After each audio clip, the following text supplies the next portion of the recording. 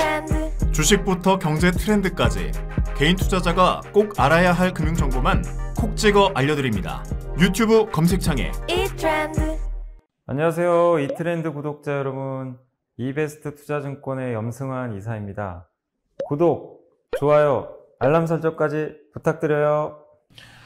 네, 안녕하세요. 임승환 이사입니다. 오늘 2022년 이제 4월 28일이고요. 마감 시황 방송을 좀 시작하겠습니다. 업체마다 뭐 다르겠지만 주말까지 20% 이상의, 그러니까 이제 실제로 이제 사람들이 밖에 나가서 백화점 가서 옷을 사는 거죠. 근데 이 옷이 과거에는 이제 약간 그 기능성 뭐, 운, 뭐 운동복이라든가 아웃도어 제품들이 많이 나갔는데 지금 캐주얼 제품이 많이 나왔네요. 그리고 명품 매출이 그동안 많았는데 실제로 이제 명품보다 오히려 이런 의류 쪽 매출이 늘어나고 있다. 특히 명품 같은 경우는 마진이 되게 낮아요.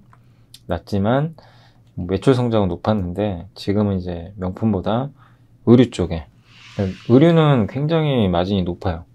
수수료를 많이 주기 때문에 그래서 이익 추정치 상향 백화점 업체들도 나쁠 것 같지는 않습니다. 옷이 많이 팔리면 수익성이 좋아지는 거죠. 그래서 백화점도 좋고 또 1분기 백화점 3사의 성장률도 한10% 이상 나오는 것 같고 그리고 무엇보다 지금 오미크론 확진자가 급증하면서 2, 3월에는 부진했지만 4월 18일부터 거리두기가 해제되면서 날씨도 따뜻하니까 요새 이제 실제로 밖에 나가보시면 예전에는 다들 이렇게 좀 검은색에 어두운 색의 이런 외투를 많이 입었는데 지금 어떠죠? 지금 화려하죠 되게 색깔도 다 좀 뭐 알록달록하기도 하고 그래서 뭐 보기 훨씬 좋은 것 같아요 사실 예. 그래서 예년 대비해서 날씨도 따뜻해지다 보니까 정말 캐주얼 예. 그리고 캐주얼 의류가 이렇게 많이 팔리는 이유 중에 하나가 뭐 저희 회사도 그렇지만 이제 복장이 다 자유화 돼가지고 대부분 많이 요새 뭐 넥, 넥타이 하는 데는 거의 없어요.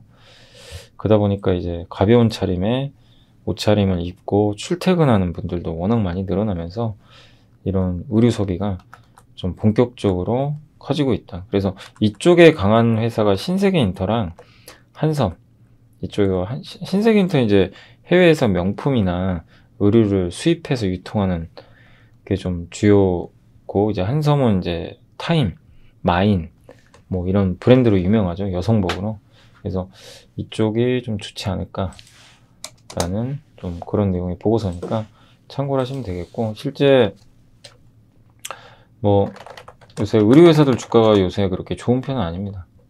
네. 근데 이제 오늘 신세계 인트도 좀 올라갔고 한섬은 뭐 정말 저평가돼 있죠. 너무 저평가돼 있는데 이쪽에 대해서 좀 관심을 갖자라는 그런 내용의 보고서고 그 오늘 뭐 JS 코퍼레이션이나 의류 쪽이 좀 안 좋더라고요. 오늘은 뭐 특별한 이유는 없는데 아무튼 의류 회사들 주가 좀 부진하지만 특히 뭐 의류 OEM도 너무 싸기도 하고 한성 같은 경우도 마찬가지로 완전 저밸류죠 저밸류. SJ그룹 뭐다 마찬가지고요. 그래서 우리 회사들 실적은 좀 괜찮지 않을까라는 뭐 그런 내용이니까 참고를 하시면 되겠고요. 그 다음에 big tech 기업들 실적이 지금 안 좋아요. 안 좋긴 하지만 뭐 MS는 또 좋았죠 마이크로소프트는. 그렇지만 이제 분명한 건 뭐냐면 매출 성장이 둔화된 건 맞아요. 예. 지금 untact에서 이제 reopening으로 가니까 그래서 매출 성장의 둔화는 확인은 확실히 됐다. 다만 이제 클라우드 매출이 40% 이상 고성장이 확인이 됐다. 그러니까 뭐냐면 소비자 대상으로 하는 거는 좀 매출이 줄었는데 기업형 대상으로 클라우드 서비스를 제공하는 회사들은 실적이 좋아요. 그러니까 한마디로 광고, 게임, 소셜 미디어, 스트리밍, 뭐 동영상 시청하는 거죠. 그러니까 개별 고객한테 주는 이런 서비스 이런 쪽은 성장이 둔화됐죠. 넷플릭스가 이미 그걸 보여줬고 이용자 수도 이미 미국에선 포화 상태고 경쟁 업체들이 뛰어드니까 그래서 그런 것들은 좀 부정적인데 이게 좀 더 이어질 수 있어요. 어쨌든 지금 물가 올라가고 사람들의 소비 여력은 줄어들고 선택을 또 해야 되거든요. 예, 그리고 경쟁사들은 자꾸 뛰어들고 반면에 이걸 대체할 수 있는 분야는 B2B B2B가 기업 대상으로 그러니까 마이크로소프트의 클라우드 애저라고 하죠. 그 다음에 그 구글도 있고 아마존 네, AWS 이런 것들을 기업들이 많이 쓰거든요. 이쪽은 오히려 투자가 늘어나면서 굉장히 좋은 분위기 같습니다. 그리고 이런 기업 투자 수요가 늘어나는 게 그런 클라우드나 이런 것들 자동화 솔루션을 왜 쓰냐면 인건비가 지금 너무 올라갔어요. 그죠? 요새 뭐 인건비 때문에 기업들 이익 안 좋아지고 있다 이런 얘기 들어보셨는데 인건비는 올라가면 내려가지 않습니다. 그래서 거기다 이제 디지털 전환 수요도 많고 그래서 결국엔 한국에서도 이런 회사들이 수혜를 받을 수 있다는 거죠. 음. 그래서 그 수혜주가 뭐냐면 그러니까 IT 업계 인건비 증가나 이런 비용 절감을 위해서 소프트웨어 투자가 많아요. 네. 그래서 그 회사가 삼성 SDS나 현대 오토웨어입니다. 그리고 이런 회사들은 이제 보안업체인데, 아무튼 오늘 SDS가 많이 올랐죠. 실적이 잘 나와가지고, 현대 오토에버도 이제 자율주행 소프트웨어. 장기적으로 아주 좋죠. 다만 이제 현대 오토에버는 좀 비싸서 PER가 40배예요. 그래서 뭐 지금 사는 얘기 못 하고 있고 급락할 때 꼭 이런 급락 한 번씩 나오거든요. 그때를 이용하시고 삼성 SDS는 뭐 주가도 싸고 오랜만에 급등하는데 그러니까 실적도 잘 나왔지만 이런 모멘텀 있죠. 방금 설명드린 왜 이런 소프트웨어 기업들이 그러니까 소프트웨어 중에서 기업에 납품하는 소프트웨어 있죠. 이게 삼성그룹의 소프트웨어를 대부분 담당하잖아요. 현대오토에버는 현대차 그룹. 그래서 이쪽이 좋다. 뭐 그런 내용입니다. 그런 건 좀 참고하시면 되겠고 롯데정밀학은 이제 뭐 우리 워낙 잘 아는 기업이고 간단히만 정리해드리면 분기 첫 천억의 이익을 달성했고 매분기 연속 증익하고 있고요. ECH 주력이죠. 가성소다. 가성소다 이따 설명해 드릴게요. 그 팜유 수출이 중단했는데 이 팜유를 만들 때 팜유를 이용을 해가지고 저 ECH도 나중에 이제 제품을 만드는데 그게 수출이 중단되면 원자재가 부족하니까 가격이 튀겠죠. 그래서 이 부분도 ECH라는 제품에 굉장히 긍정적이고 2분기는 가성소다가 또 좋아진다고 합니다. 그린 소재도 성수기고 음. 그리고 환율 상승도 되게 긍정적이고요. 환율 우리나라 기업들 요새 실적 좋은 게 환율 효과가 좀 있어요. 네, 그래서 일반적인 화학회사보다는 굉장히 긍정적인 흐름을 유지하고 있습니다. 그래서 실적과 valuation 지금 PER가 3.1배라고 하더라고요. 네, 그러니까 대단한 실적을 내고 있고 음, 이번에 이익도 너무 좋았고 네, 어디 쉽게 안 무너질 회사입니다. 급나가면은 화학주 중에서 가장 투자 매력이 높은 기업 중에 하나인 것 같아요. 이번에 실적이 잘 나와서 추정치도 또 올라갔겠죠. ROE가 17% 여기 16%인데 매년 10% 이상은 유지하거든요. 그래서 뭐 굉장히 매력이 있고 배당도 점점 늘어나고 네, 그런 회사로 좀 보시면 좋겠습니다. 그래서 여전히 매력은 있는 것 같아요. 이익도 퍼가 지금 저기 하이투자증권의 전망으로 따르면 3배밖에 안 됩니다. 음. 그래서 굉장히 매력이 있고요. 내년이면 주당 순자산 가치가 지금 주당 순자산 가치가 98,000원이에요. 이 정도는 가야죠. 최소한. 거기에도 지금 턱없이 못 미치고 있습니다. 그 정도로 주가가 굉장한 저밸류다. 라고 보시면 좋을 것 같습니다.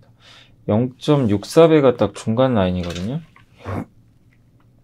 네, 물론 뭐 거기까지 빠질 것 같지는 않지만, 아, 거기까지는 안 오고 있네요. 거기가 63,000원이니까, 그죠? 네. 네, 거기까지 뭐 가기는 좀 어려울 것 같습니다. 거기가 중간 정도 되는데 그 레벨은 아닌 것 같고 아 중간이 0.9배군요. 아, 제가 잘못 봤어요. 요 밑에 하단부가 0.64배고 아 중간이 0.9배 0.9배가 중간이래요. 계산 한번 해볼까요? 0.9배면 얼마예요? 자산가치 89,000원인데?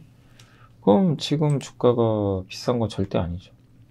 그러니까 이게 어려운 게 사이클 산업이다 보니까 지금 막 이제 실적 좋으니까 던져버리잖아요. 근데 뭐 앞으로 ECH나 가성소달 제가 감히 예측은 못하지만 그게 유지가 된다면 지금 주가는 엄청나게 싼 겁니다. 비싼 건 아니에요. 네. 아직은 매력 있다. 89,000원 이하는 가격적으로는 충분히 매력이 있어요. 계산을 해보면. 네.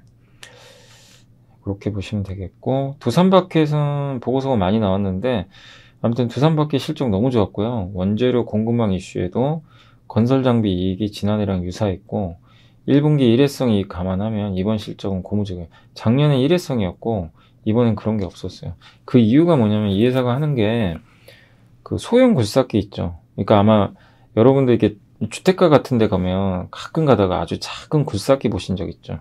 그거 만드는 회사예요. 근데 한국에도 있지만 주로 이 회사는 미국에서 그걸 만드는 회사입니다. 그래서 북미 점유율이 되게 높고 북미 1등 기업인 걸로 알고 있어요. 근데 이게 수요가 너무 많대요. 그래서 만드는 족족 팔리고 가격을 올릴 수도 있고요. 공급망이 지금 문제가 생겼는데 마치 자동차 같은 거죠. 자동차처럼 수요는 많은데 공급이 좀 부족하니까 가격 올려서 팔고 그래서 실적이 잘 나왔어요. 판매가 인상이 가능해요. 인플레 수혜주입니다. 그래서 지금 시대에 딱 맞고 제가 사실은 이제 뭐 이쪽 굴삭기를 아주 좋게 보는 건 아니지만 도산 밖에서는 굉장히 긍정적인 것 같습니다. 예, 실적으로 증명을 해버렸어요. 그리고 재고도 얼마 없고 밸류도 10배 정도밖에 안 되고 음. 근데 미국 회사고 우리가 이익 추정하기가 너무 어려운데 분명한 건 이번 1분기 실적만 놓고 보면 너무 매력있다. 음. 그렇게 좀 봐야 될 것 같고 이 회사가 평균 PER이 한 11배, 12배 왔다 갔다 하거든요. 음. 그러니까 11배만 줘도 지금 얼마죠? 4, 4,400원? 48,000원 나와요. 그러니까 최소 거기가 적정 주가라는 얘기예요. 최소. 계산을 해보면 그 정도까지는 뭐 충분히 가능하다. 가격적으로. 11배까지는 뭐 평균치니까. 그 동아ST가 흥국증권에서 보고서 나왔고 8만 천원 이거는 사실 가치평가하기 좀 어렵고 신약 개발을 하다 보니까 아무튼 돈 잘 벌었고요. 처방의약품 슈가논 그로트로핀이라는 제품이 있는데 이게 매출이 늘어났고 1분기 이익률도 5.1%로 급증했습니다. 근데 이제 변수가 신약 중에 스텔라라 바이오시밀러인데 이걸 미국에서 임상 3상 하고 있거든요. 이게 성공할지 안 할지 모르잖아요. 그래서 요 리스크는 좀 일부 있어요. 음, 근데 어쨌든 이익 늘고 다른 바이오랑 다른 거는 돈을 벌고 있다는 거. 그 점은 긍정적입니다. 근데 신약 개발이라는 또 리스크가 일부 있어서 그게 좀 변수긴 합니다.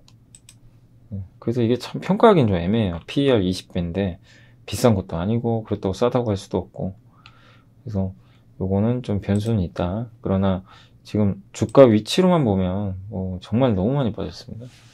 음.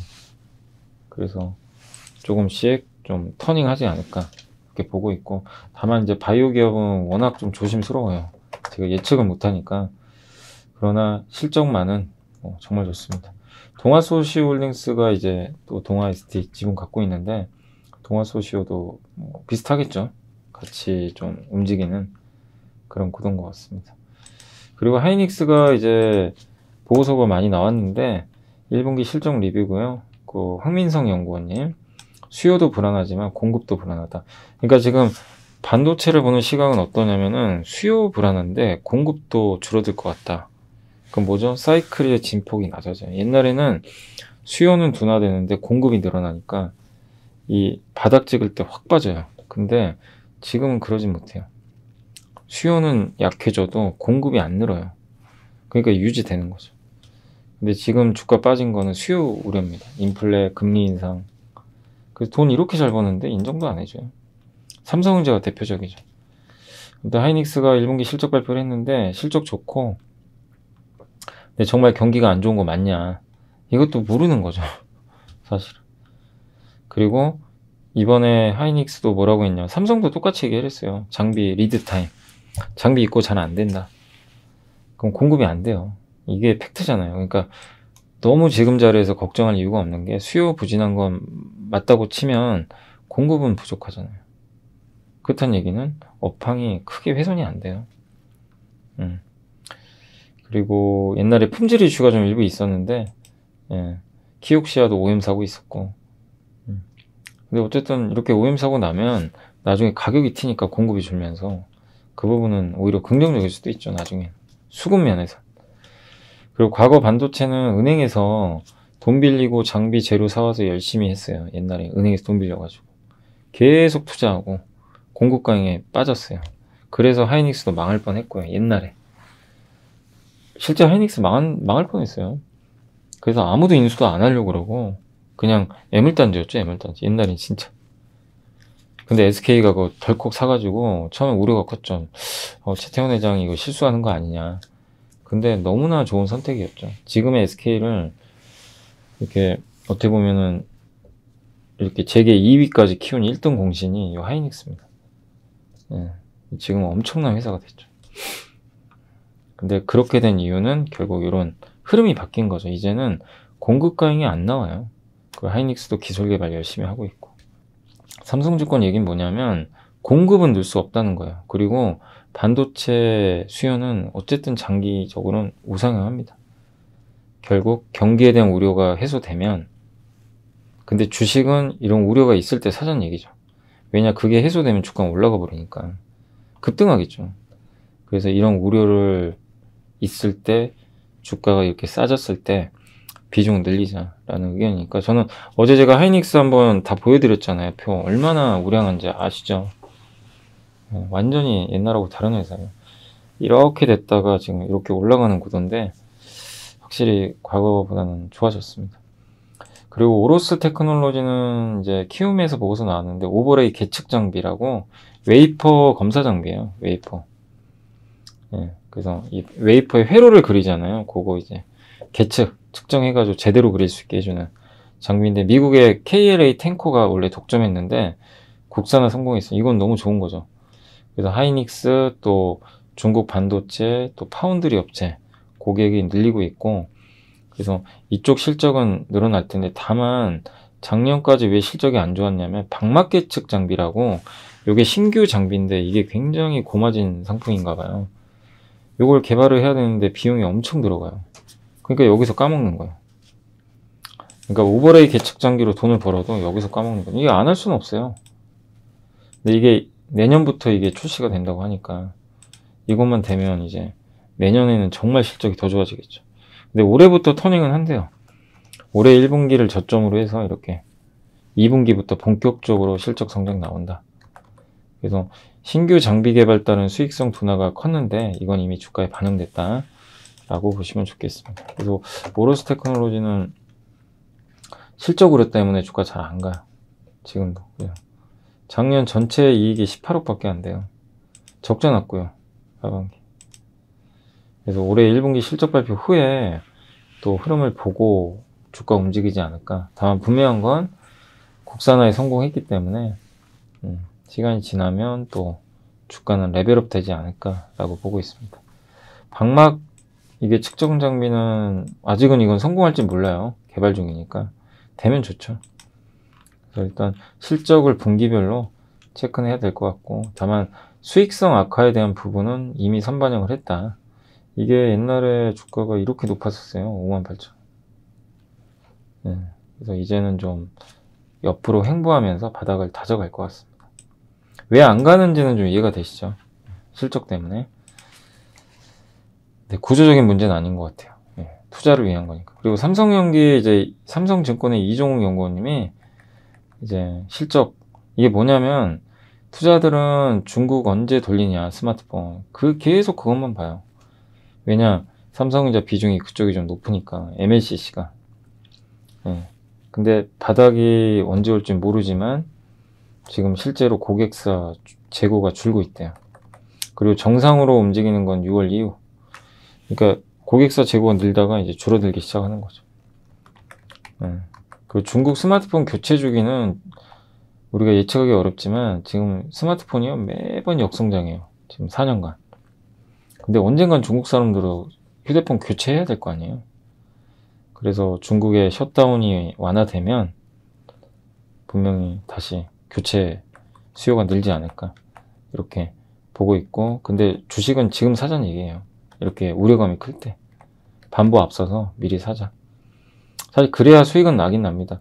그러니까 이거죠. 삼성전자를 보는 입장에선 확인하고 살 거냐 수요 도는 거. 근데 대부분 확인하고 사요.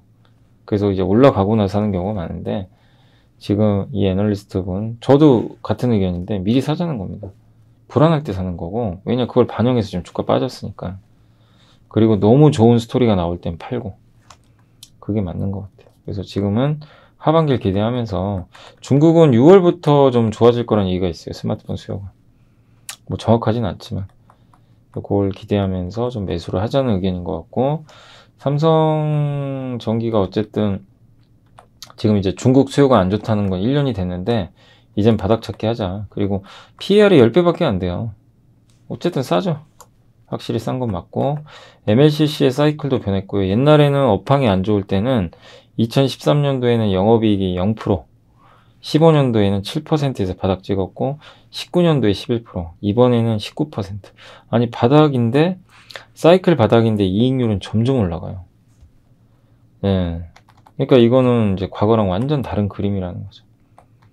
그 중국 경쟁사하고도 격차가 더 커지고 있고 그래서 리틀 디램 비즈니스다 뭐냐 그 디램하고 비슷하다는 거예요 이제 움직임이. 디램도 이렇게 가거든요. 점점 진폭이 낮아지면서. 그것처럼 MLCC 수요는 꾸준해요. 자동차에도 많이 들어가고요 이제. 데이터 센터. 네, 스마트폰이 안 좋아서 그렇죠. 지금 완전히 디램하고 똑같죠. 네, 그래서 그치만 장기적으로 우상향한다 이익률이. 그게 긍정적이고 그리고 사이클 변화가 이렇게 안정적으로 된 이유는 중국이 투자를 많이 안 해요. 옛날처럼. 막 좋으면 막 투자하고 그게 아니라 안정적이라는 거죠. 그래서 점유율 경쟁도 그렇게 많이 하지 않고 있고. 그리고 전기차에 많이 들어가죠. 전기차용은 아무거나, 아무나 못해요. 진입 장벽이 굉장히 높습니다. 그리고 지금은 또 수년금 상황이고요. 재무적으로도. 옛날에는 차입금이 좀 많았는데 지금 돈을 많이 버니까 이제는 캐시가 쌓여 있죠. 그것도 굉장히 긍정적이죠. 그리고 무엇보다 기판, 플립칩 BJ라고 기판 사업 절대 강자잖아요. 이거는 무시하면 안 되죠. 그래서 이런 기판의 성장까지 하면 퍼 10배는 너무 싸다. 네, 그 얘기입니다.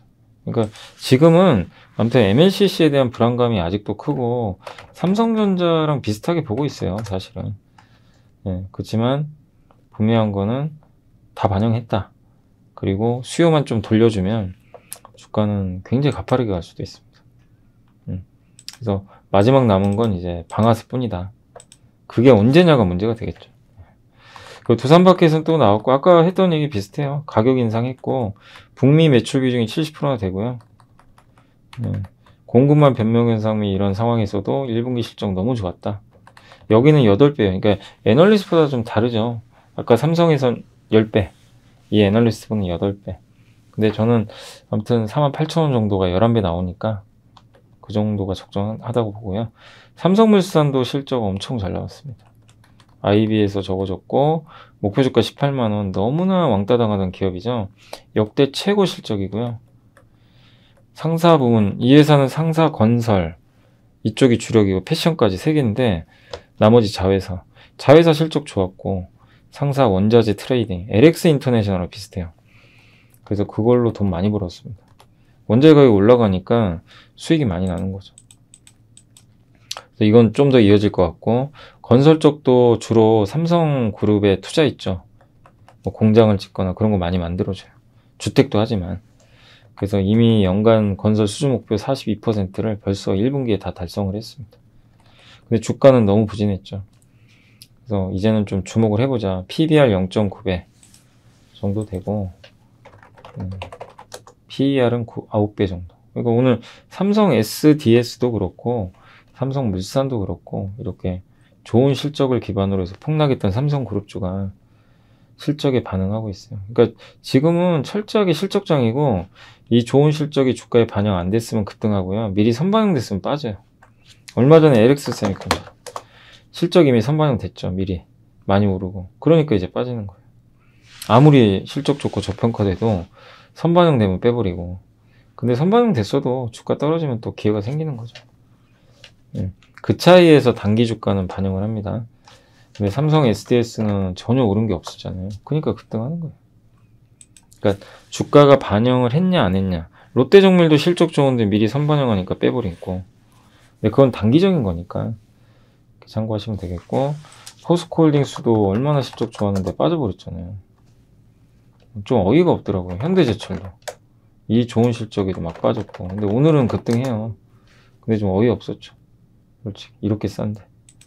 그러니까 약간의 선반영이냐 아니냐에 따라서 일부 차이는 있었던 것 같습니다. 자, 그리고 석유화학 쪽에서 가성소다라고 있어요. 가성소다가 이제 염소계라고 하는데 염소를 이용해서 이제 만든 뭐 그런 석유화학 제품인데 이게 수요가 너무 좋대요. 그래서 SK증권에서 나온 자료고 이게 가성소다 가격이 재차 지금 반등을 하고 있다고 하는데 글로벌 가격 가동률이 낮고요. 그 다음에 석유화학 이 석탄으로 만들거든요.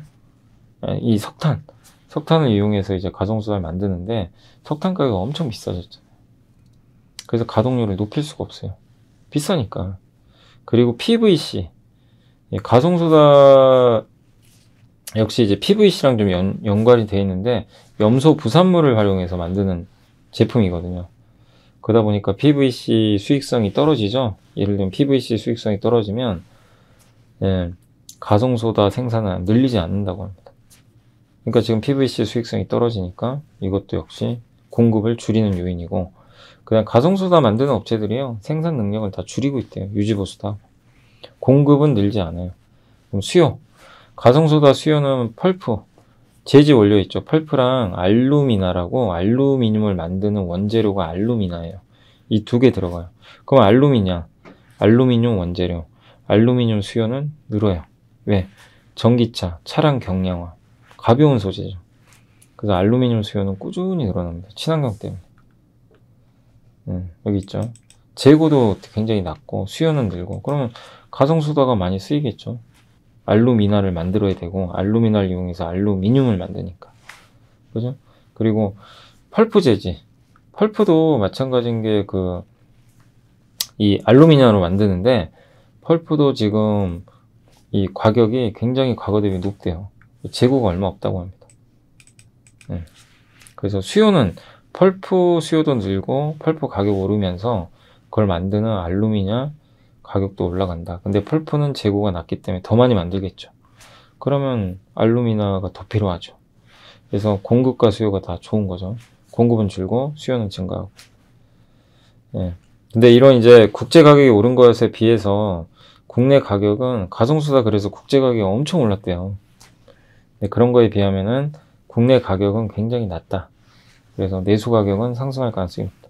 대부분 국내 기업들은 내수 제품을 만드는데 지금 내수 가격하고 그러니까 지금 그 국외가 그러니까 외, 국제 가격은 너무 올랐는데 내수 가격은 안 올랐어요. 이 정도 벌어져 있어요. 그러니까 결국 쫓아가겠죠.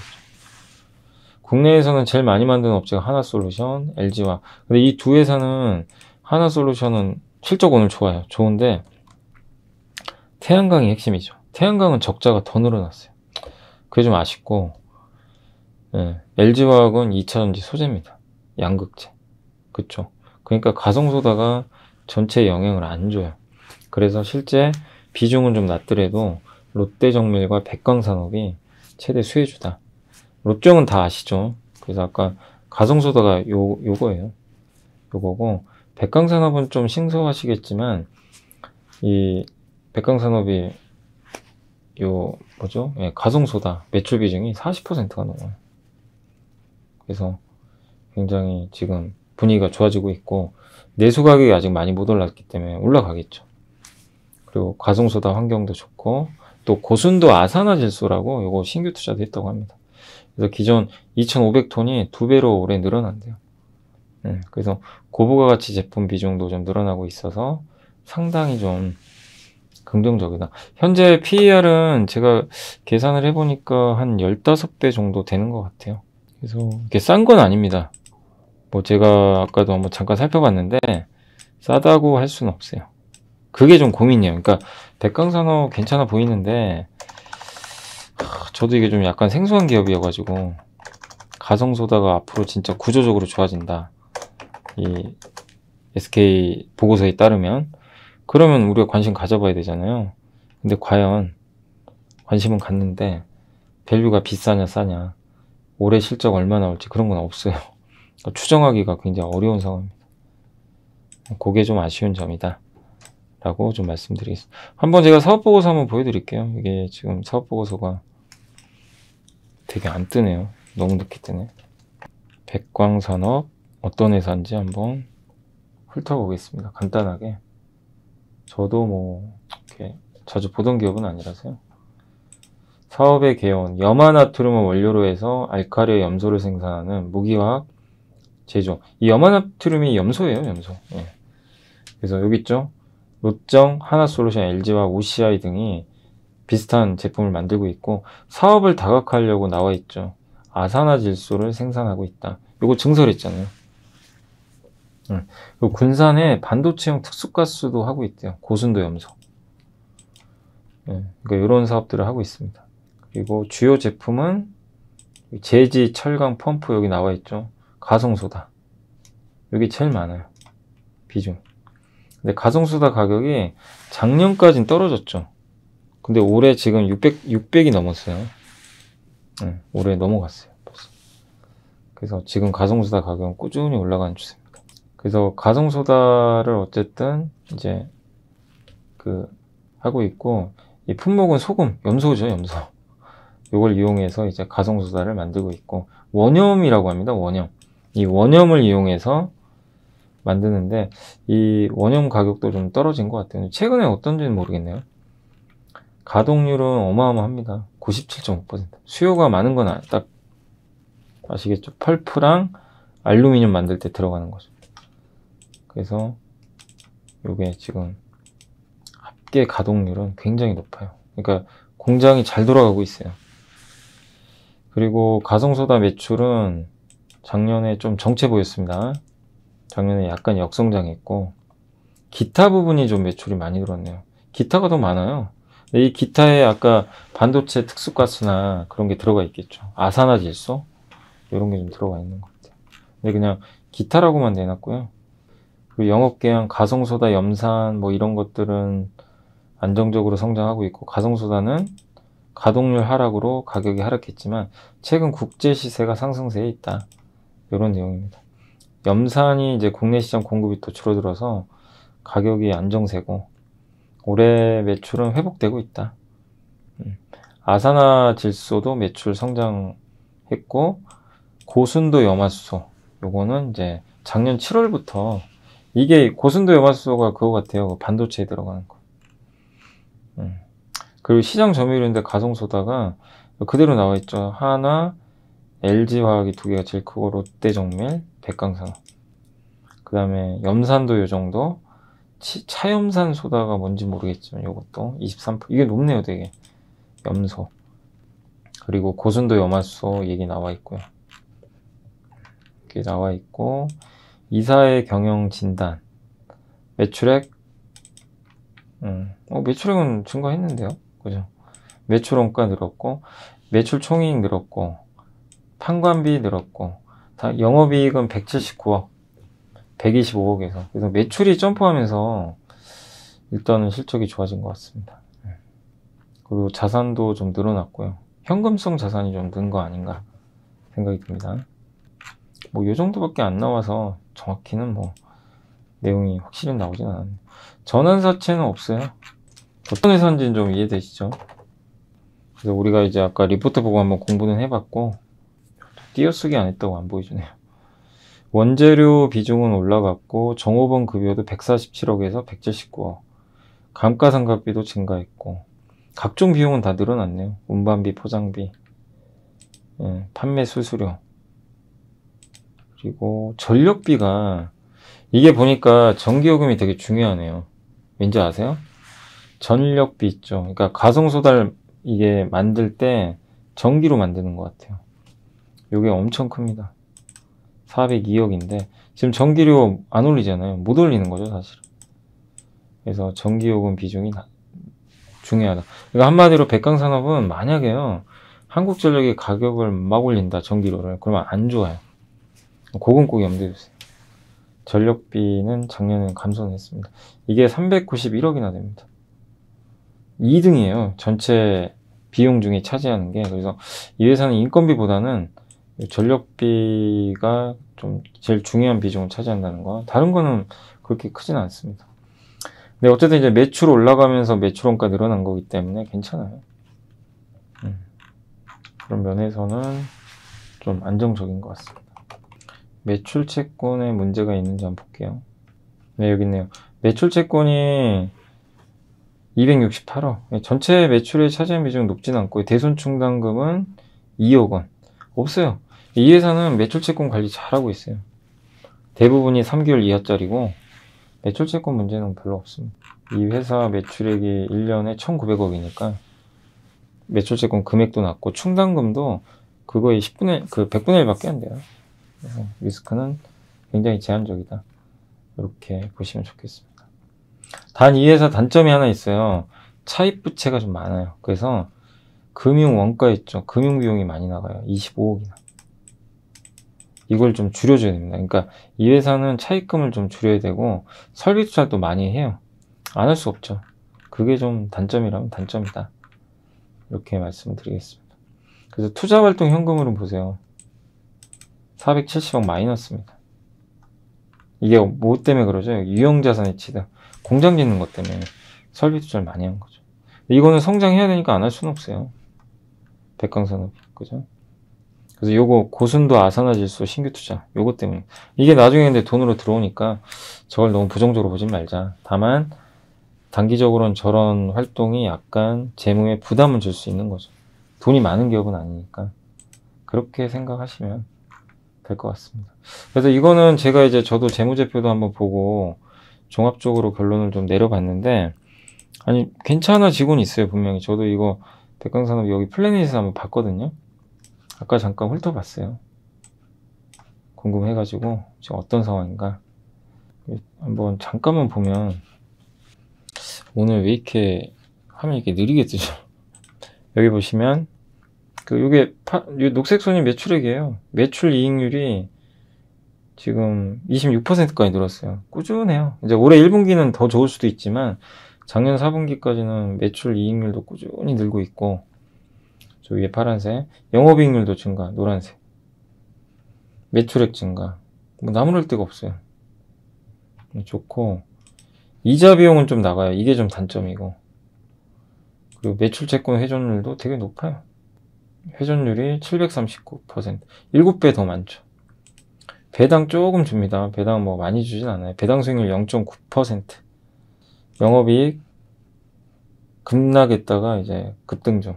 가성수다 가격이 회복되면서 그런 것 같고 순현금은 아니에요. 차입 부채가 978억이나 있어요. 현금성 자산은 130. 그러니까 제가 이 회사를 봤을 때 최대 리스크가 좀 부채가 많더라고요. 저거 어떻게 할 건지. 그게 좀 약간 리스크 중에 하나입니다. 부채 갚아야 되니까. 감가상각비는 꾸준히 늘고 있죠. 왜냐면 설비 투자 많이 했으니까. 뭐 그건 어쩔 수 없는 것 같고요. 투자 활동 현금 흐름에서 설비 투자. 요게 엄청 지출이 많았습니다. 이익 대비해서 설비 투자거든요. 이익이 요거예요. 밑에 녹색선. 이익은 49억인, 149억인데 연간 설비 투자가 470억입니다. 많죠? 그러니까 지금은 이익보다는 투자를 하는 시기예요. 근데 이 설비 투자가 나중에 뭘로 돌아오죠? 돈으로 돌아와요. 이걸 나쁘다고 볼 수는 없어요. 근데 당장은 수익성에서 감가상각비나 이런 것 때문에 갉아먹을 수도 있죠. 근데 그래서 중요한 게 매출액이에요. 매출만 계속 증가해주면 비용이 증가하는 걸 상쇄시켜버리거든요. 그래서 이익도 늘어났잖아요. 작, 작년에 이렇게 설비 투자를 많이 했는데 그럼에도 불구하고 이익은 오히려 늘어났죠. 음, 매출하고. 그래서 매출이 중요한 것 같습니다. 다만 빚을 좀 갖고 있다는 거, 이거 부채가 늘어난 거, 요건 조금 부담인 것 같습니다. 그다음에 현금 흐름도 좋아요. 영업 활동 현금 흐름이 많아요. 실제 단기 순이익이 늘어나서 돈을 벌어서 현금을 많이 확보하고 있어요. 이건 좋은 거고 설비 투자를 뺀 그러니까 현금에서 갖고 있는 이제 영업 활동 현금 흐름에서 설비 투자를 뺀 게 이제 잉여 현금 흐름, 실제 남는 현금인데 그거는 마이너스입니다. 왜? 작년에 설비 투자를 너무 많이 했잖아요. 최대치로. 영업활동 현금 흐름에서 설비 투자 금액을 뗀 건데 이게 많아요. 그래서 잉여활동 현금 흐름은 마이너스다. 근데 이건 어쩔 수 없죠. 투자를 해야 되니까. 그래서 약간 걱정은 그거예요. 저 투자금 많이 들어갈 텐데 앞으로도 저거를 어떻게 메꿀 건지 차입금이 많던데 요것만 좀 명확하게 게, 좀 괜찮아지면 백강산업은 되게 매력 있다. 제가 분석한 걸로는 퍼는 15배지만 비싸다고 할 수는 없어요. 단 어려운 거 부채 많고 가성수다 가격을 예측을 못해요. 누구도. 그건 좀 리스크예요. 근데 그걸 좀 만회하기 위해서 여러 사업에 투자를 하고 있잖아요. 핵심적인 소재 사업. 그게 이제 계속 실적이 잡히면 레벨업 되겠죠. 백강산업은 뭐 충분히 한번 고민해 볼 만하다. 조정이 나오면 고민해 볼 만한 그런 기업인 것 같습니다. 단기 순이익이 작년에 149억 정도 일단 나왔기 때문에 지금 주가는 싸진 않습니다. 작년 실적 기준으로. 16배. 올해 실적이 얼마가 될지 모르겠네요, 그거는. 그래서 15배 밑에서 사면 좀 낫지 않을까. 음, 그런 생각은 좀 드네요. 음, 거기가 5천원이에요, 5천. 15배 이하가 작년 기준. 거기가 최적의 좀 비중 확대 구간이 아닐까. 라고 말씀을 드리겠습니다. 자, 백광산업은 이제 한번 보여드렸죠. 이런 식으로 우리가 이제 분석을 해가지고 새로운 기업이면 강점은 뭐고 분명히 turnaround 하고 이거 좋은 것 같아요. 매출 성장 나오고 뭐 나무랄 데 없어요. 단 부채랑 약간의 고value 그 다음에 현금 흐름이 좀 악화될 수 있는 거 왜냐 투자를 해야 되니까 여기에 대한 부분들이 좀 고민은 된다. 그래서 쌀 때 사자. 그리고 1분기 실적은 확인을 해야죠. 실제 매출과 이익이 느는지 그걸 보면서 대응을 하시면 좋을 것 같습니다. 자, 그래서 오늘 보고서는 이 정도로 마무리 하고요. 장 끝나고 제가 바로 또 마감 시장 연결해서 하도록 하겠습니다. 이제 장이 끝났습니다. 끝났고요. 네. 오늘 뭐 어쨌든 주식시장이 굉장히 큰 폭으로 올랐습니다. 코스피가 미국 장이 좀 빠졌지만 아, 미국이 좀 혼조세로 끝났지만 오늘 코스피는 그 오후에 급반등 나오면서 잘 끝났고요. 네, 잘 버티죠 한국 증시가 확실히 미국이 아무리 빠져도 한국은 선전했고 다만 오늘 코스닥은 성장주들이 급나가면서 분위기가 안 좋습니다. 한마디로 지금 시장은 굴뚝주를 원해요. 옛날에 그 무거운 기업들 있죠. 그런 기업들이 또 실적도 너무 좋고 그래서 실적에 반응하면서 그 기업들의 주가 급등하면서 코스피가 훨씬 좋았고 코스닥은 오늘 반도체 소부장이 되게 안 좋았어요. 뭐 특별한 이유가 있었던 건 아닌데 반도체 소부장 기업들이 또 최근에 많이 올랐잖아요. 그리고 삼성전자가 좀 부진했고 그리고 펄어비스가 폭락하면서 게임주나 성장주에 대한 시선이 안 좋아요 지금. 그리고 오스테인 플란트가 거래 재개됐는데 뭐 예고는 했죠. 오늘 뭐 급락을 하는 건 불가피했고요 사실. 왜냐면 그 오스테인 플란트 같은 경우도 이제 결국엔 그동안 못 팔았던 사람들이 있죠. 이 사람들이 다 팔려 그러거든요. 그 매도 수요가 너무 많아요. 왜냐 환기 종목이라서 기관은 무조건 팔게 돼 있어요. 기관의 펀드들 있죠. 여기서는 투자 환기 종목이 지정되면 그냥 무조건 파는 게 원칙입니다.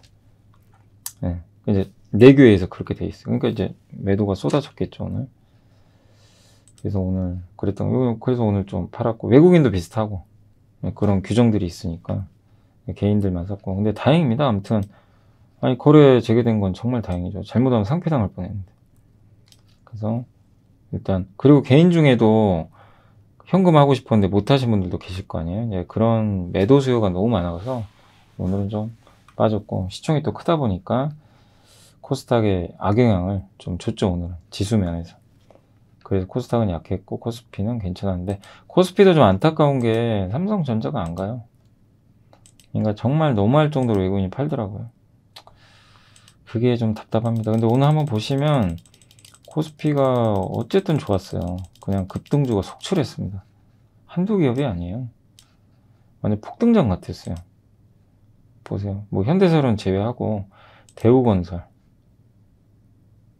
호실적, SL은 뭐 배터리 관리 시스템 수주 받았다. 금액이 큰 건 아니지만 아모레퍼시픽 earning surprise 한전은 잘 모르겠고요. 왜 올랐는지. LG화학 8% 호실적. 그죠? 어제 잠깐 한번 설명드렸지만 현대두산인프라 호실적. 삼성 SDS 호실적. 삼성물산 호실적. GS건설은 어닝 쇼크인데 일회성 아니냐. 요런 이제 부분 때문에 급등 한국콜마 이제 아무리 가니까 따라갔고 금호석유 오랜만에 갔고요. 그 다음에 LX 인터내셔널 호실적, 현대제철, 뭐 워낙 저평가, 포스코홀딩스 다 무거운 회사들이죠. KCC, 삼성 엔지니어링, ST팜은 실적 잘 나왔어요. 그 다음에 LS 일렉트릭, 그리고 롯데케미칼, 예, 다 무거운 기업들이에요. 셀트리온도 요새 좋아요. 코스맥스, SK는 요새 계속 올라갑니다. 예, 27만 원까지 왔고, 현대산업개발, 현대모비스, GS 리테일, 그 다음에 오리온, 예, 다 좀 무거운 기업들이 오늘 다 일제히 주가 한 2% 이상 다 급등하는 그런 양상이 나왔고 오늘 좀 많이 빠진 거는 어쨌든 펄어비스고요. 음, 펄어비스가 제일 많이 빠졌고 그 다음에 KG 스틸은 아무래도 KG 그룹 뭐 쌍용차 인수건 때문인 것 같고 BH나 LG 이노텍은 이제 peak out 너무 실적은 좋지만 주가 너무 많이 올랐잖아요. 그러니까 그 peak out 우려 LG 디스플레이는 이제 earning shock 좀 당분간 힘든 구간이고 그 이녹스 첨단 소재도 좋은 회사지만 earning이 너무 좋으니까 peak out. 그러니까 디스플레이 관련주를 다 팔아버리더라고요. 그리고 해성 DS도 너무 좋았죠. 많이 올랐고 심텍 비슷해요. 다 많이 오른 기업들이에요. 대덕전자 네, 이런 기업들이 오늘 시총이 커요 코스닥에. 그러니까 이 기업들이 빠지니까 코스닥이 영향을 받았겠죠. 음, 그래서 오늘 코스닥은 좀 부진했다. 그리고 코스피에 아주 무거운 기업들이 무거운 오늘은 가볍게 날라갔어요. 그래서 삼성전자 좀 제외하면 분위기는 좀 굉장히 긍정적이었다. 오늘도 보세요. 삼성전자를 이렇게 어마어마하게 팔고 있습니다. 예. 참, 예, 한숨 나옵니다. 너무 심한 거 아니에요? 진짜 외국인들 한번 다 가서 물어보고 싶어요. 도대체 뭐가 문제냐? 이 정도면 된 것 같은데. 아니, 뭐가 나빠서 팔면 이해라도 하죠. 아니, 그니까 지금 중국 안 좋고 이거 다 알잖아요. 그게 뭐 삼성만의 문제입니까, 지금? 그러면 우리나라 전체 주식 다 안 좋은 건데, 왜 유독 삼성전자만 이렇게 가혹하냐 이거죠. 퍼가 9배밖에 안 되는데. 이 환경에서도 너무나 파니까 삼성전자에 대한 뭔지 모르겠어요. 저도 명확하게 말씀 못 드릴 것 같아요. 안 좋으면 다 안 좋게 다 팔아야죠. 한국이 안 좋으면. 근데 삼성전자만 팔잖아요. 음, 요게 좀 답답한 거죠. 지금. 아, 어디까지 저기 전화가 와가지고 또 까먹었네요. 예, 아무튼 삼성전자, 아, 맞아. 삼성전자 얘기했었죠. 아무튼 삼성전자가 좀 답답한 상황인데, 빨리 일어서기를 좀 바랍니다. 뭐 계기가 있어야 될 것 같은데, 좀 답답한 상황이고 오늘도 외국인들은 전자를 그냥 무차별적으로 팔았습니다. 전자 빼면 산 거예요, 사실은. 그리고 오늘 기관들은 좀 주식 많이 샀고요. 연기금 투신이 막판에 그냥 주식을 다 사버렸어요. 종가에. 그냥 강력하게 매수하면서 증시는 오늘 어, 코스피가 모처럼 만에 이렇게 올랐는데도 2660밖에 안 됩니다. 그러니까 아직도 시장은 너무나 저평가되어 있는 그런 구간이다. 네, 오르긴 올랐지만 여기서 근데 삼성전자가 좀 가주면 지수 2800 가는 거죠. 전자의 움직임에 따라서 결정은 될 것 같고요. 오늘 건설기계 좋았고요. 네, 오늘 건설 기계 쪽이 다 일제히 급등했습니다. 근데 아까도 제가 말씀드렸지만 실적은 두산마켓이 제일 좋아요. 요걸 선택하는 게 정답이에요, 사실. 네, 오늘 상승률을 떠나서 펀더멘털은 이 기업이 가장 낫긴 낫습니다. 뭐 바뀔 수도 있죠. 상황에 따라서. 근데 실적만 놓고 보면 그렇고 건설주 다 좋았고요. 그 다음에 철강주도 좋았고 네, 포스코, 현대제철 좋았습니다. 그리고 석유화학도 오랜만에 좋았고 다 경기 민감주예요. 가치주라 그러죠. 우리 흔히 말하는 이수화학 좋았고 LG화학은 이제 양극재사라고 불러야 돼요. LG화학의 가치도 분명히 올라가서 70만 원까지는 올라갈 거예요. 장기적으로. 너무 염려하지 마시되 이게 아무튼 지주회사라는 단점이 있죠. LG엔소를 갖고 있으니까. 하지만 양극재 세계적인 양극재 회사가 될 겁니다. 이미 그걸 보여주고 있어요. 지금 실적에서. 너무 스트레스 받지 마시고요. 그 다음에 뭐 상사주, 화장품주 오늘 다 좋았고 타이어도 오늘 좋았나요? 금호소, 아, 금호소가 급등했죠. 정작 뭐 타이어는 별로 가진 않았습니다. 풍력주도 오늘 1.3%, CS 베어링하고 세아제강, 요게 근데 철강주들이 들어가 있어서 좀 애매하네요. 그 환율 하락 수혜주들 바이오 바이오 좋았고 농업주 자동차도 오늘 좋았습니다. 오늘 오늘은 모비스가 좀 오랜만에 좋았고요. 면세점은 화장품 토니모리가 화장품이라 해서 좀 올라갔고요. 현대백화점 뭐 좀 올라왔습니다. 지주사도 요새 분위기들은 좀 괜찮아요. 대상홀딩스가 많이 갔고 DL 그 다음에 롯데지주 이런 기업들이 좀 일부 올랐습니다. 인터넷 대표주 살짝 반등해줬고 네, 네이버는 정말 안 가네요. 조선주도 오늘 한국조선해양이 좀 일부 올라갔고요. 카지노 회사도 조금 올라갔네. GKN 좀 반등했습니다. 제가 한번 그때 롯데 관광개발도 한번 제가 우리 사업 보고서 봤잖아요. 뭐 앞으로 안 갑니다가 아니라 우리가 분석해 보니까 좀 리스크가 있죠. 그죠? 음, 재무상 그래서 조금 보수적으로 그러니까 간다 안 간다 떠나서 그냥 확신이 안 들면 안 하는 게 맞는 것 같아요. 제 이제 확실 확실하면 하는 거고 네. 갈 수도 있어요. 뭐 reopening 하면 또 중국인들 온다 그러면 주가 폭등하겠죠 이렇게 그럴 수 있지만 우리가 뭐 굳이 불확실성에 베팅할 필요는 없는 것 같아요. 근데 정말 뭐 재무구조 좋고 이러면 상관없지만 좀 부채가 좀 일부 있으니까 그리고 정유는 오늘 0.2% 올랐고 실제 오늘 사실 HD 현대 그 오일뱅크 있잖아요. 그 현대 중공업 지주죠 옛날에 이 회사 실적이 잘 나왔어요 사실 잘 나왔는데 이제 HD 현대죠. 음. 그래서 오늘 좀 주가 좋았고 근데 사실 이제 이 기업은 뭐 가치 평가하기 너무 어렵죠 지주회사다 보니까 또 오늘 실적 잘 나왔고 증권주도 아주 미약하지만 오늘 오랜만에 반등했습니다. 최근에 워낙 빠져가지고요. 반대로 오늘 급나간 기업은 이제 천연가스 관련주들 너무 올라서 빠졌고 좀 오늘 중앙에너비스라든가 이런 기업도 엄청 올랐잖아요. 음, 비정상적으로 올랐어요 사실.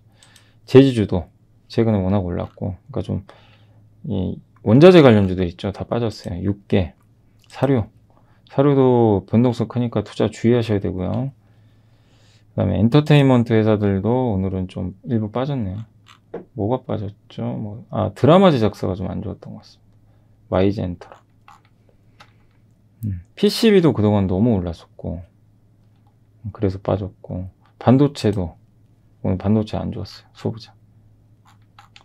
MLCC는 오늘 삼성전기는 올랐지만, 코스모 신 소재나 이런 기업들이 좀 빠져서 부진했던 것 같습니다.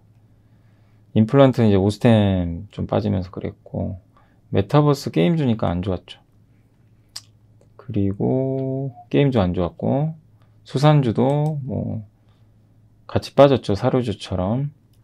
좀 일부 하락이 나왔고. 동원산업이 참 이게 아쉬운 기업이죠. 주주가치 좀 훼손한다는 그런 합병 때문에. 근데 진짜 그것 빼면 정말 실적 좋거든요. 음. 그게 좀 아쉽더라고요 통신 장비 반도체 장비 오늘 다 안 좋았습니다 foldable 폰도 오늘 좀 빠졌고 근데 삼성전자가 foldable 폰은 키우려고 하더라고요. 아까 IR 보니까. 그 반도체 대표주도 오늘 전자 때문에 좀 부진했습니다. DB하이텍도 좀 부진하고요, 최근에. 하이닉스는 버티고 있고. 또 그런 흐름으로 오늘 시장은 일단 마감이 됐다라고 봐주시면 좋을 것 같습니다. 네, 그래서 지수는 크게는 못 가는 게 전자가 못 움직이니까. 근데 그 과정에서 개별 기업들이 급등을 하니까 시장은 버티고 있는 거예요. 그래서 여러분들이 숲이 아니라 나무를 계속 보시고 그 열매가 열릴 나무는 가치주예요. 사실은 우리가 흔히 말하는 가치주. 저평가된 거. 저평가됐는데 실적 좋은 거.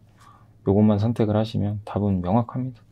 고밸류 기업보다는 아무튼 저밸류 기업에 계속 집중하시면 좋을 것 같습니다.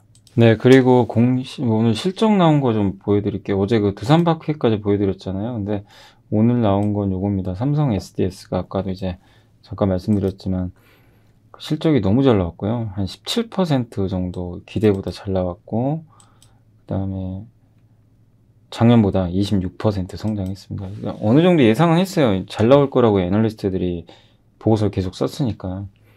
근데 이제 생 그거보다 더 잘 나온 거예요. 음, 그러니까 이날이 마지막 바닥이었죠. 그때가 어떻게 보면 펀더멘탈과 아무 상관없이 빠진 날이니까 이날 많이들 불안해 하셨지만 뭐 어쩔 수가 없었던 것 같아요. 그런 이제 수급 이슈가 있으니까. 근데 실적은 너무 잘 나왔습니다. 주가도 싸고 이게 보통 20배 받던 회사예요. PER 13배면 싼 거죠 사실. 그 BNK 금융지주 역시 잘 나왔어요. 은행주들 다 좋아요. BNK 금융지주도 요새 좀 빠졌는데 주가 너무 싸고 배당만 7% 나오니까 여전히 매력이 있습니다.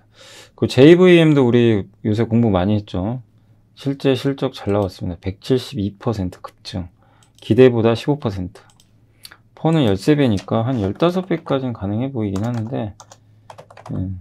근데 다만 단점은 좀 최근에 올랐으니까 조금 지켜보자는 의견입니다. 예. 바닥이면 모르지만 좀 가파르게 올라왔으니까 좀 지켜보시고 풍산도 되게 잘 나왔더라고요. 구리 회사죠, 구리 회사. 근데 너무 안 갔어요, 주가 진짜. 원자재 가격 수혜주인데 너무 안 갔는데 잘 나왔어요.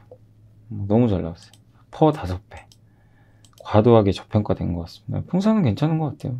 주가 자체가 워낙 지금 못 간 상황이라 밸류도 괜찮고 그 다음에 어쨌든 실적도 점프했고 이런 거는 저는 뭐 충분히 매력 있다 라고 좀 말씀드리겠습니다. 이런 기업들의 실적이 오늘 좀 상대적으로 긍정적으로 나왔다라고 보시면 좋겠습니다. 아 그리고 현대코퍼레이션도 실적 나왔네요. 방금 잠깐만요. 방금 제가 확인하니까 아예 그냥 현대코퍼레이션 우리 기억나시죠? 상사주들 다 좋아요 실적이. 뭐 지금 좋으니까 쫓아가자는 건 아닌데 음, 상사 업종들 실적이 정말 놀랄 정도로 좋습니다. 13% 정도 더 나왔고 올해 계속 좋을 것 같아요. 그리고 PER은 현대코퍼레이션이 지금 보니까 요새 좀 올라오긴 했지만 아직도 싸죠 사실. 올해 예상 실적 기준으로 PER이 4.7배. 4.7배 정도로 뭐 너무 싼 것 같습니다. 음. 네, 현대코퍼레이션도 괜찮은 것 같아요. 그러니까 LX 인터가 워낙 많이 올랐는데 뒤를 따라서 현대코퍼레이션, 삼성물산 이런 기업들이 좀 주가가 좋은 흐름을 좀 보여주는 것 같습니다. 자, 그래서 실적은 말씀드렸고 그 다음에 증설 공식 하나 있었는데 KNJ라고 이게 그 월덱스라든가 있죠, 뭐 하나머티리얼즈 이런 부품사 있죠.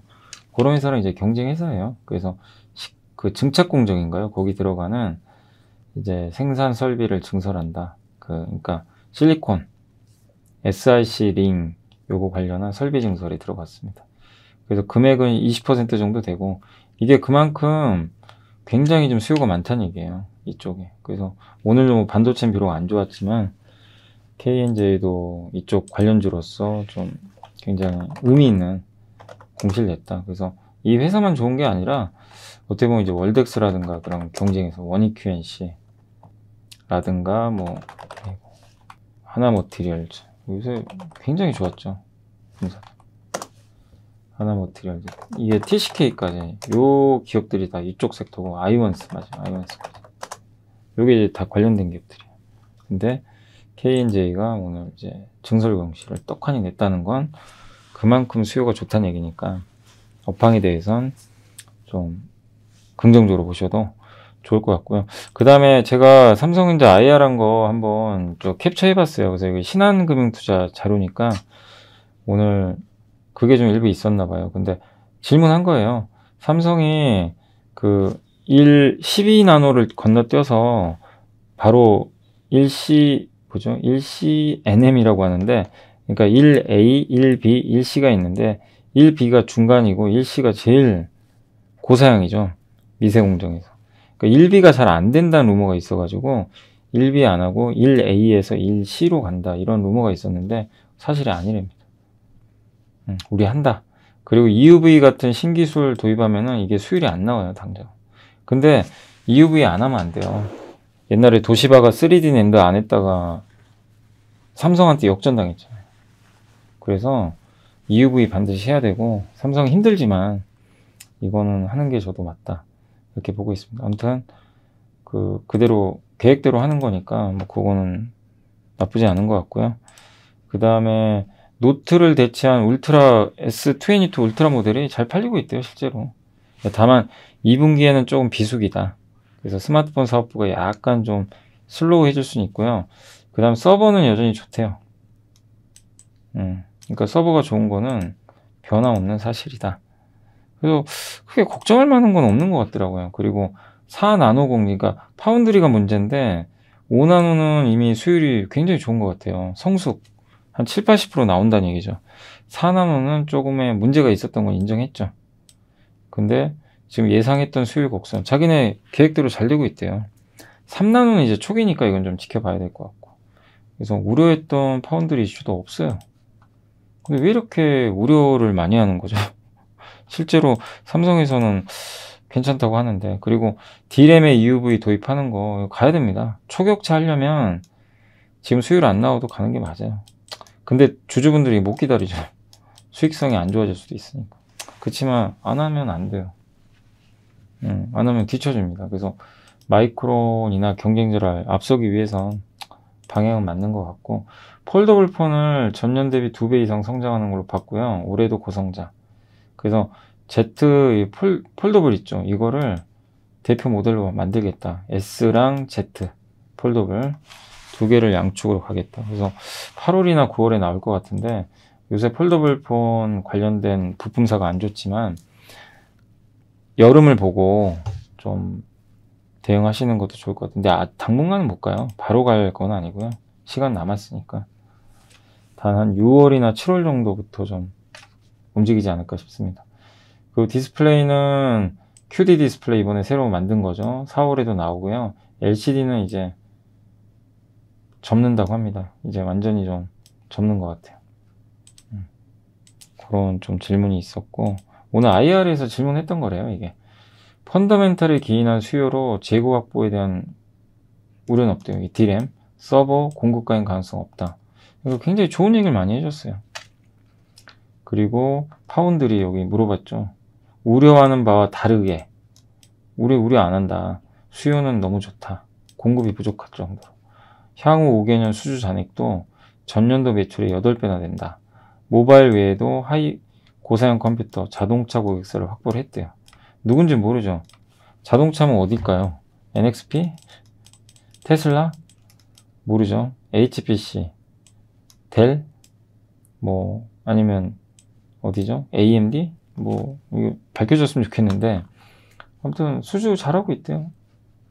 예, 뭐 믿어봐야죠. 뭐 삼성이 거짓말 할 리는 없잖아요. 그죠? 그러니까 우리가 밖에서 이렇게 우려하는 주가랑 다르게 삼성의 IR은 굉장히 긍정적이었던 것 같아요. 모바일 수요 근데 이거는 좀 분명 악재 맞죠. 우리가 우려하는 것 중에 하나가 모바일이 안 좋아지는 거. 이건 인정을 했어요. 그리고 하반기에 DDR5 이건 좋은 뉴스고 장비가 실제로 입고가 잘 안 되는 것도 인정했어요. 나, 예, 아예 이거 사, 하이닉스도 했던 얘기인데 그건 뭐죠? 여기서 의미하는 게 공급은 줄어요. 공급이 못 늘어납니다. 그럼 좋은 거잖아요. 삼성전자 업황이나 반도체. 시장은 인정을 안 하고 있지만 마지막으로 그 PC와 모바일은 락다운 영향을 받고 있다. 실제 중국 요거 인정을 했습니다. 다만 고사양 PC나 기업형은 문제없다. 그러니까 소비자형 쪽에서 물가 상승과 이런 부분은 우려가 되지만 PC, 고사양 PC나 기업에 납품하는 것은 큰 문제 없다라는 그런 내용이니까 참고하시면 좋겠습니다. 아무튼 IL에서 느낄 수 있는 거는 서버 좋고 모바일 안, 안 좋아요. 재고는 그렇게 많지 않은 것 같고 그 다음에 D램 공정 기술에 대해서 얘기들은 많지만 EUV 한다. 초격차 위에서 그리고 파운드리 잘하고 있고 수율 괜찮게 나오고 있고 고객사도 많이 확보했고 뭐가 문제죠 근데 왜 안 갈까요? 내가 모르는 뭐가 있는지 모르겠는데 그런 내용의 좀 Q&A였던 것 같습니다. 네, 그래서 오늘 뭐 제가 전달해 드릴 건 다 해드렸던 것 같아요. 오늘 보고서도 다 해드렸고 아무튼 다 해드렸고 오늘 여기서 일단 마무리 할게요. 오늘 아마 지금 나스닥 선물이 급등하고 있어가지고 모르겠습니다. 끝나는 봐야 되겠지만 미국은 현재 기준으로는 나스닥 선물이 2% 폭등하고 있어요. 그래서 좀 잘 마무리 됐으면 좋겠고 지금 다시 2,700을 내일은 회복했으면 하는 바람입니다. 자, 아무튼 오늘 고생하셨고 저는 또 내일 뵙도록 할게요. 아무튼 오늘도 마무리 잘 하셨고 이렇게 어려운 장이지만 매일매일 정말 너무 고생들 하시는 것 같습니다. 아무튼 기운들 내시고 항상 제가 당부드린 대로 이제는 여러분들도 어쨌든 투자하실 때 그냥 뭐 무조건 제 얘기만 듣고 하는 것도 절대 아니에요. 뭐 저도 너무 믿을 필요 없고요. 저도 제가 뭘 어떻게 알겠어요. 미래 주가를. 그냥 분석을 하는 거죠. 이런 데이터를 가지고 하는 거니까 여러분들도 스스로 아까 뭐 KNJ 아니 모르는 기업이 있으면 찾아. 아까 백강선은 몰랐죠. 저도 잘 모르는 기업이에요. 근데 공부해 보니까 알잖아요. 뭐가 문제고. 예. 근데 퍼 15배 지금 좀 애매하니까 좀 더 쌀 때 사자. 그죠? 그런 식으로 계획을 세우는 거죠.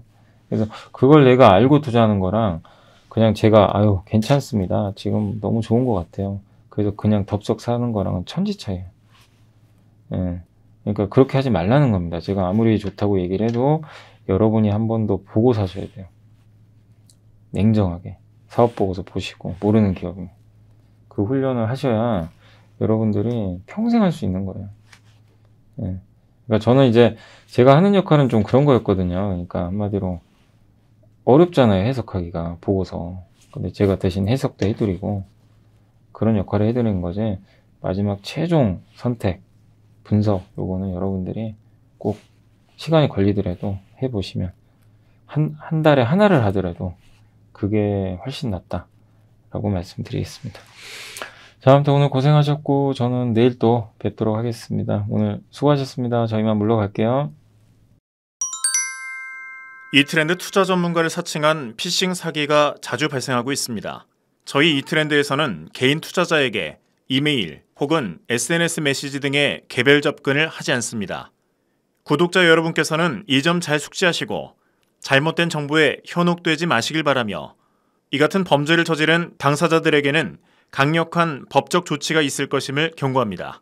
이 트렌드 재테크 어떡하죠 이 트렌드 투자는 어떡하죠 이 트렌드 경제를 쉽게 알려줘 이 트렌드 주식부터 경제 트렌드까지 개인 투자자가 꼭 알아야 할 금융 정보만 콕 찍어 알려드립니다. 유튜브 검색창에 이 트렌드